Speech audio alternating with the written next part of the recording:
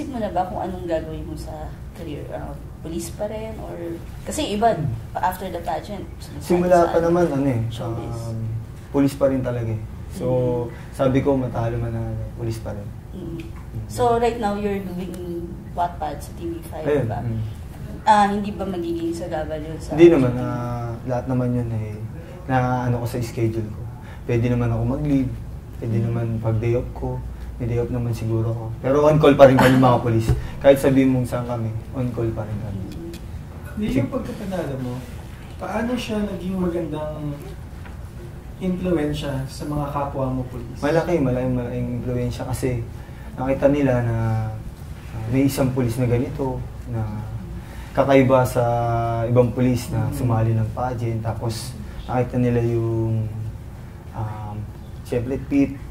Kasi hindi ko maano na mga tao, lagi nilang inaano na ang pulis nga daw, medyo nataba, medyo ano. Pero hindi naman totoo yun. Siguro dala lang sa trabaho nila. Kasi may mga pulis na nagtatrabaho na sa opisina, minsan napapabayaan na yung ma- mawawala na yung time nila para makapag-workout. Meron din naman katulad ko sa Special Operations Unit ako na lagi ako nag-workout. Mm. Yun. Siguro, ah, hindi rin natin maano na may mga pulis talagang ganun. Question, dun ba sa sa unit nyo, talagang kailangan matipuno sa kami itsura? Ah, hindi naman.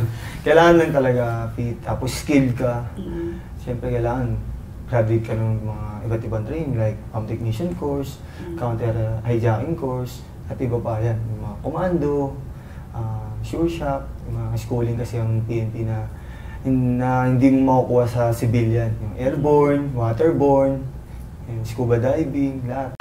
Nung nanalo ka, naging viral yung photo mo na. Oo, yun. Kay Raymond Isaac. Yung photoshoot nga yun, eh, in-sponsoran lang ni Raymond Isaac. Parang, siyempre, tulis ako na, siyempre, nakilala namin sila sa badminton. Kasi yung ng